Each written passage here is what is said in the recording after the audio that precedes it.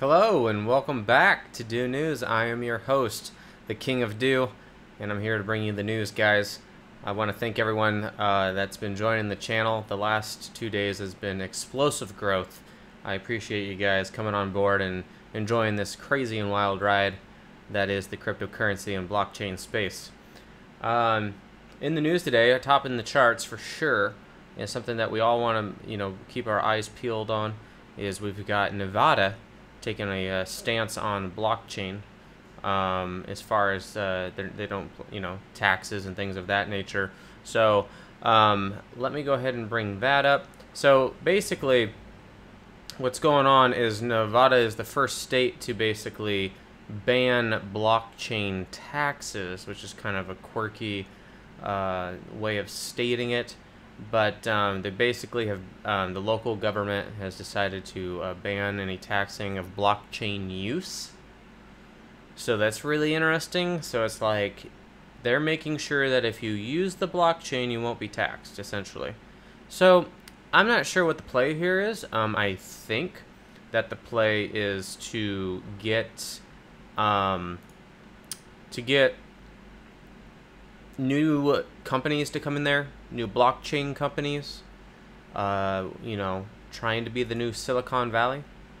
They have a ton of space in Nevada, lots of desert to build out underground servers and keep things cool under there, right? And uh, huge data centers and they have the, they have everything that they need. They have plenty of electricity, cheap electricity from the nearby dams if they if they choose to make it cheap. Um, I'm not I don't live there. I'm not aware if the taxes are affordable or not. But um, you know, something to keep your uh, eyes peeled about. I was telling my wife today. I was like, so we uh, we probably need to move to Nevada. She's like, I ain't moving to Nevada. Well, I'm moving to Nevada. Went something like that, anyways. Um, so yeah, Nevada is uh, forward thinking there, and uh, one of the first uh, states to really make a big leap when it comes to blockchain technology. Um, so that's exciting. That's super exciting. Um, what else we got in the news? Uh, stocks in Japan. This one's really interesting. So there's a lot of companies out there that have actually been in cryptocurrency, investing in it, or dabbling in it or even setting you know reserves aside um, in Bitcoin essentially um, and maybe in NEM right there uh, since this is uh, happening in Japan but basically the stocks are blowing up right now over there um, the huge increase in Bitcoin um, there's also big we're talking huge money we're talking you know it's it's like some large financial institutions are like moving money into the space really early right now, right? Like this is their aggressive growth like play, right? Like if you have a 401k and you actually do what you should do and go look at it and actually choose what you want to put your money into. Um, if you're young, especially, you should be trying to be aggr as aggressive as possible, right? Um, with that money, because you probably don't have a lot. And if you were to lose it all, you have your whole life to get it back. So hopefully you're being aggressive if you're young, um, getting that massive growth, and uh, the last few years have probably been good for you if you if you've been like that. But Japan, uh, it, it seems like that you know one of the ones that I can pick in my 401k is international uh, growth stocks, right? I would like to think that that's some of the money coming into the market right now that, you know, uh, in a in a quirky, weird way, my money is somehow going around the world and into these markets. Uh, I want to believe that, anyways, but don't know if that's true. But somewhere out there, there's some financial institution that's putting a huge amount of money. This is not a joke anymore, guys. Um, the surge in those particular uh, stocks is very clear, very correlated to the big pump we had. That was a lot of money entering the market, essentially, right? That big pump. Um, those things don't just happen on accident. It takes a, it takes some pressure. Like guys, that was massive Bitcoin movement, like massive, and the support level went way way up. Meaning that in case a whale or someone wanted to take profits or sell sell out or something like that, they were you know that financial institution was willing to buy in at that price and things like that. So um, anyhow, that's only uh, theoretical hypothetical. I'm just kind of making all that up and what I think was going on. But um, the stocks, same time, um, just getting pumped. Uh, so, you know, it's about uh, 7:43 here right now, which means markets over there have been open probably what I don't know, 45 minutes or so. So, um, yesterday at this time, at that time, that's when everything blew up. So just keep that in mind, guys. That uh, you always want to be watching the markets right around seven o'clock, 7 p.m. West Coast time. Sorry for your East Coasters. You guys got to stay up really late if you want to um, enjoy some of these rides that happens from the pumping. Um, just to uh, give you a quick update, um, it doesn't look like we uh, are seeing a lot of movement in uh, Ethereum, although it is at uh, 0.092 Bitcoin. While Bitcoin is still up 3.27% over yesterday, which is fantastic news. So uh, right now the markets are up overall, and uh, you know we hit an we hit an all-time high today of about just under 2,900. Some some exchanges may have hit 2,900 and uh, that's where the markets are as far as Bitcoin goes. And that's what you got to be you got to be watching that, guys. Bitcoin is a very critical indicator for no matter which coin you're inter- you're interested in or you're invested in. I know a ton of people on my channel love Ethereum, um, and so you gotta you have to know Bitcoin too, guys. It's a it's an early indicator. It's gonna help you succeed. It's gonna protect you in case things get cray cray. So just keep that in mind. Okay. What else we got? We've got uh, AMD stock through the roof. So AMD, if you're not familiar, is a chip manufacturer. Um, they specialize in uh, all kinds of chips. For a long time, they've kind of been going this route of focusing on mobile devices, uh, GPUs and CPUs in one, basically. Uh, combining those to make a lot of like phone and tablet computer uh, you know, chips basically.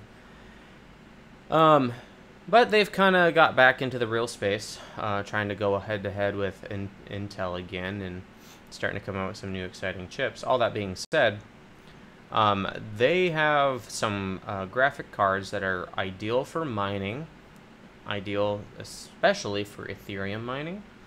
And um, right now they're sold out all over the world. You cannot find one. Um, you know they're selling online for over retail right now. Um, it's crazy right now. I'm trying to get my hands on some myself. I'd like to have some more mining equipment. And uh, building a, a, miner right now is uh, crazy expensive. It is not cost effective right now. Uh, missed missed the opportunity. I'm hoping and praying i walk into a store and see just one because just one would be fantastic right now um, at retail price it'd be crazy so uh, AMD stock is through the roof. A lot of people last week started putting money into that, so uh, that's all. It's all good.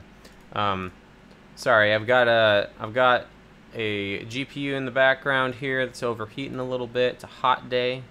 It's hot in my office right now. I uh, I turn off uh, you know my cooling and everything to so I can so you guys can hear me better. Um, so it gets a little hot. I accidentally left my uh, accidentally left uh, my Gridcoin mining going on. So I've been doing some Gridcoin mining, contributing to the sciences of the world. And um, I actually kind of wanted to give you a cool little little update, a little story on on that. Because if you guys have been on this channel, you know that I've been trying to find extraterrestrials. I'm helping SETI. They're using my processing power right now to uh, search through uh, sound waves of what out, whatever's out there in space. So, um, you know, whatever they can, uh, as long as I'm getting some money back, right? So, honestly, I'm actually not making really anything, guys. Um, I don't believe it's very cost effective for the machine I'm doing. I do it for the education. I do it for the nerding out. I do it for truly understanding what um, the future of cloud computing looks like. Projects like Golem, right? There's another project coming out this week, S O M N I don't know how to pronounce that. Som, Som. Um, that's another cloud computing. They do fog computing solutions as well, and I'll talk about that some other time. But um, that's what I do when I'm bored. I don't know, guys. So that's what I've been nerding out on. But um, I kind of wanted to tell you this because this hit the news today. So, um, back in 1977, which is the greatest year to be alive because Star Wars came out and the Trailblazers won uh, the championship that year. So, if there's any year to ever be alive, 1977 was it. That being said, also in 1977, there was um, this scientist guy basically listening to the stars, and on his data, there was this crazy, ridiculous noise that happened. Um, and ever since 1977, uh, everyone has always believed that it was coming from a local star system, essentially, something nearby. And it's always been believed that that, that was the proof of life. It was real. And so, you know, and this was actually a part of the SETI program back then, which is crazy, right? I'm, I'm, I'm being a part of it now. It's been around for a long time. Anyhow, uh, it basically the sound wave lasted 72 seconds um, and it was so crazy that the guy wrote wow the scientist wrote, wrote, it down. He put wow right on the piece of paper that he printed off essentially and it was forever known as the wow signal. And uh, hardcore uh, astronomy nerds and uh, things like that they talk about the wow signal because it's always been this thing where it's like oh my gosh aliens are real. Well someone extremely smart went back through the records of all the known like comets and things like that in our in our system was able to actually figure out that um, you know he backtracked it through time. Uh, he actually figured out that it was probably one or two of these meteors or whatever right flying through the sky. I think it was a comet to be exact sorry. So um, the comets that he was looking at had only been discovered in 2006. So, you know, you fast forward all the way to 2006. Um, that's when we finally are like, ah, okay, here's some comets. He backtracks it and says, ah, it was probably one of these comets. So, in order to prove it, he literally uh, pointed the, the instruments to the exact same location, the, um, the rotation of those comets is every seven years, exact same time. Essentially, he confirmed it. He debunked it. It is 100% not aliens. It was just comets going by. No aliens, guys. You heard it here first on Dew News. There are no aliens. Um, but my computer's looking for them while I'm doing this video right now. So that's kind of cool. okay. So, Gridcoin, Gridcoin's cool. I'm going to do a video on it at some point. Um, that's another reason I've been nerd now. I've had some people show some interest in it. A lot of people are fascinated by it because you can actually do some of this mining, um, and it helps people wrap their brain around what the future of Golem is going to be like because that's the one that's fascinating to everybody. Okay. Um, that is it. But well, there's one last thing I want to give. Um, I hope you say. I hope I'm saying your name right, Gareth. It's Gareth, right? You have to correct me, but Gareth is a longtime viewer, one of my first viewers on this channel, and uh, he made me aware of a website that I highly suggest all of you try out.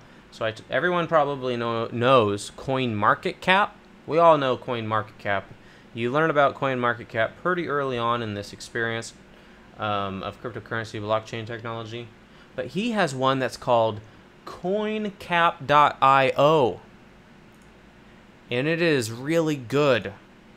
I'm not gonna go and try to tell you or convince you that it's better, one's better than the other, because you know this is a, we live in a world where people have prefer preferences, right? Um, but I'm a huge fan, huge fan. Uh, so thank you for pointing this out. Um, it's much more in real time. It just updates itself, so you don't have, to you know, you could actually monitor it at work, right? If you wanted to set it up on a screen or have you, you have an extra screen. I'm super excited because I just got uh, my new screens in.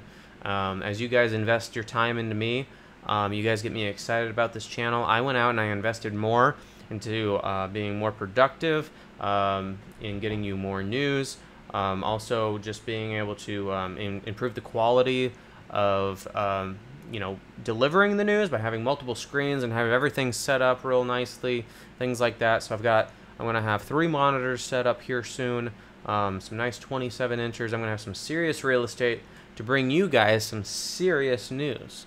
And I'm really excited about it. So, uh, you know, um, we hit a thousand, and that blew my mind, and we are going at such an acceleration. I, I don't want to lose that momentum, guys. So I'm I'm investing in this, um, in it, I'm in it with you, and uh, I really appreciate your guys' time.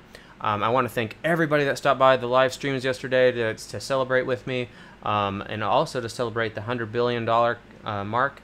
That's history. We, we made a history, and now it's holding. We're, you know, it makes me wonder: is that the new resistance now that we broke through? It took so long to break through, um, and we finally did it.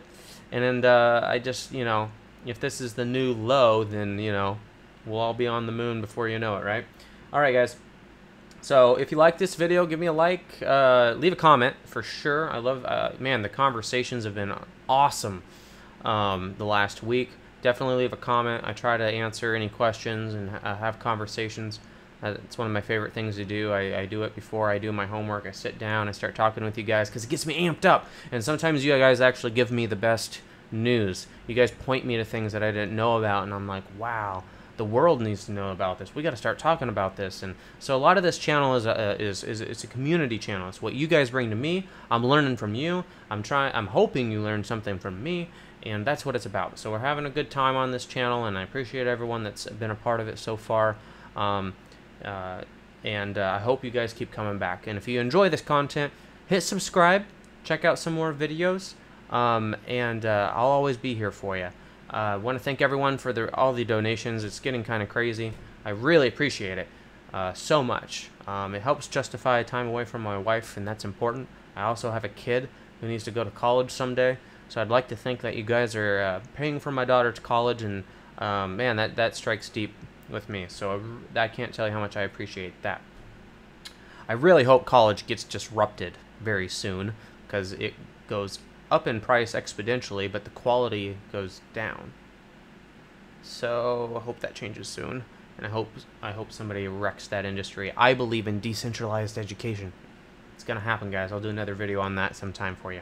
Okay, so that's it, guys. As always, uh, head on over to Steemit and upvote me. Um, your guys' support on Steemit has blown my mind. Um, the amount of Steem that I've made is extremely respectable, and I'm extremely grateful um, and I really appreciate it when you do that. It also helps to spread the channel on Steemit. Um, I've got a nice little community. I got a nice little following over there, about 150 already, and that's pretty good for that for that platform um, this quickly. So I really appreciate you guys. So keep keep on uh, keeping on over there. Leave some good comments over there. I try to upvote every comment on mine as well, so I try to share the love back. Give you guys a little free free Steem just for saying hi. So. All right, guys, um, that's it for today. Really appreciate you guys so much again. And as always, I am the King of Dew, and may the Force be with you.